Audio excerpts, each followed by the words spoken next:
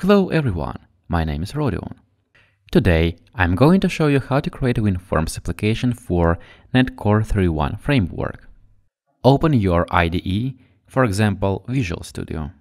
Click Create a new project button. Select the Windows Forms app item and click Next button. Change project name, project location and solution name if you need it and click Next button.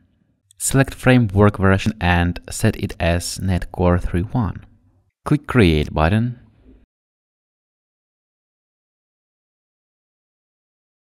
Call the context menu of your project and select the Manage NuGet package command. Select the Browse tab and find the Stimulsoft Report Net package. Select version and click the Install button. Now Stimulsoft controls are added to your project.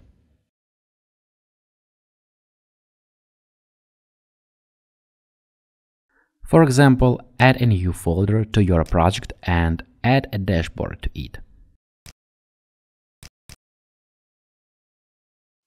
Add the button to the form and double-click on it. Create the first run of the viewer in the Event Handler button. To do that, you should create a new report object and load your dashboard into it. Use the show method of the report object to call the dashboard viewer with this dashboard.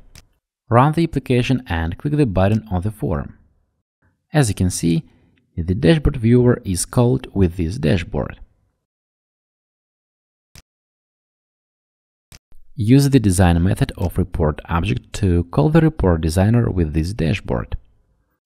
Run the application and click the button on the form. As you can see, the WinForms report designer is called with this dashboard. Now, you can use Stimulsoft controls in your NetCore 3.1 application. Thank you for your attention. Follow news on our social networks and subscribe to the video channel. If you still have any questions, leave your comments below or send us a request to support at stimulsoft.com. Have a good one!